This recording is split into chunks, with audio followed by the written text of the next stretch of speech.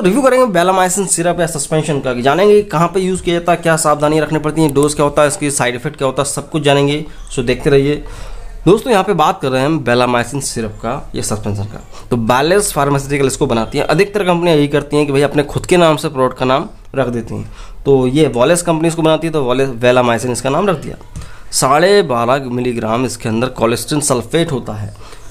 Syrup suspension के अंदर साढ़े बारह twelve point five milligram cholesterin sulphate होता है पर फाइव एम में। अगर आप पाँच एम लेंगे तो उसके अंदर आपको साढ़े बारह मिलीग्राम आपको कोलेस्ट्रिन सल्फेट मिल जाएगा। अब ये जो कोलेस्ट्रिन सल्फेट है, ये बेसिकली एक एंटीबैक्टीरियल ड्रग होता है एंटीबायोटिक है। अब एंटीबायोटिक है तो ये क्या होता है, एक प्रकार से इसको पॉलीमिक्सिन ईवी के नाम से जाना जाता है। पॉलीमिक्सिन ई के नाम से भी इसको जाना जाता है। ठीक तो ये बेसिकली ज़ाहिर सी बात है छोटे बच्चों के लिए होता है। बच्चों में चलता है, बहुत सारे इसके यूज़र्स होते हैं। और ये भी ज़ाहिर सी बात है कि भाई ये बैक्टीरियल इन्फेक्शंस में ही चलता है। कहाँ कहाँ यूज़ करते हैं? इसका यूज़ किया जाता है इंटेस्टाइन में इन्फेक्शन हो स्टमक में इन्फेक्शन हो, या बच्चे को पेचेस हो रहा हो, बहुत ज़्यादा दस्त लग रहे हों, या उसको पेशाब में जलन हो रही हो, या किसी भी तरह का बैक्टीरियल इन्फेक्शन हो। अब ज़ाहिर सी बात है, और भी कई सारे आते हैं एंटीबायोटिक्स ऑफ्लॉक्सोसिन नॉर्फ्लॉक्सोसिन पेनिसिलिन दुनिया भर की चीज़ें आती हैं। अमोक्सिसिलिन सेफेक्सिन ये सब आता है। लेकिन इसका यूज़ कब किया जाएगा? देखो, ये जो कोलेस्ट्रीन सल्फेट है, ये ज़्यादातर मल्टी ड्रग रेजिस्टेंस जब हो जाता है, तब यूज़ किया जाता है। मल्टीपल ड्रग्स रेजिस्टेंस मतलब कि जितने भी एंटीबायोटिक्स मैंने आपको बताए हैं, ये जब काम नहीं करते, तब इसको दिया जाता है, ठीक है? तो ये चीज़ आप समझ गए। क्योंकि जब डॉक्टर ने दिया, मान लो सेफेक्जिम या एमोक्सिसिलिन तो उसको रिज़ल्ट नहीं मिल रहा, तब उसको कोलेस्ट्रीन सल्फेट दिया जाएगा। अब ये जो कोलेस्ट्रीन सल्फेट है, ये अधिकतर टू फॉर्म में आता है।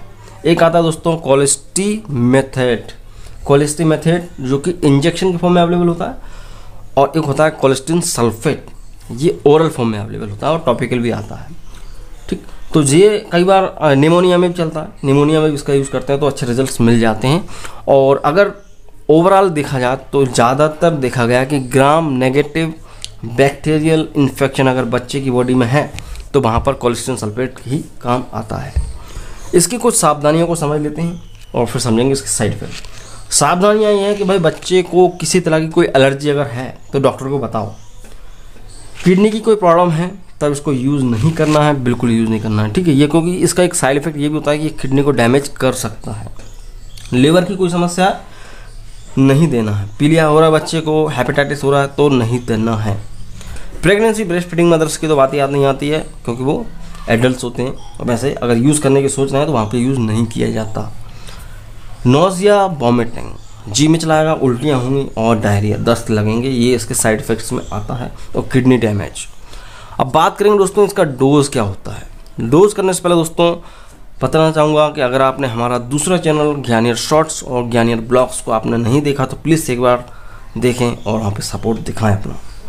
अब बात करें दोस्तों इसके डोज की तो डोज ये होता है कि भाई इसको आप खाने के पहले भी दे सकते हो, बच्चे को खाने के बाद भी दे सकते हो, ठीक है? खाली या भरे पेट दे सकते हैं, कोई दिक्कत नहीं है। और इसका डोज डिपेंड करता है सीवियरिटी के ऊपर कि भाई किस तरह का इन्फेक्शन है, कितना है, कितना पुराना है।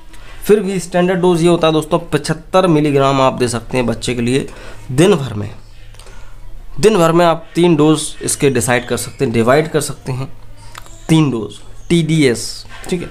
पच्चीस मिलीग्राम पच्चीस मिलीग्राम पच्चीस मिलीग्राम सुबह, दोपहर, शाम। इस तरह से आप दे सकते हैं। पच्चीस मिलीग्राम अगर देना है आपको तो इसके पर फाइव एम में है साढ़े बारह मिलीग्राम तो आपको दस मिलीग्राम सिरप देना पड़ेगा बच्चे को। जो बच्चा दो तीन साल से ऊपर का है, तीन साल, चार साल का है तो उसको आप दस एम दे सकते हैं। तो उनकी बॉडी में पच्चीस मिलीग्राम पहुँचेगा। तो ये काम करना शुरू करेगा। तो आई होप आप समझ गए बेलामाइसिन सिरप के बारे में। वीडियो अच्छा लगा तो प्लीज़ से अपना लाइक दिखाएँ और मुझे सपोर्ट करें मोटिवेशन मिलता है।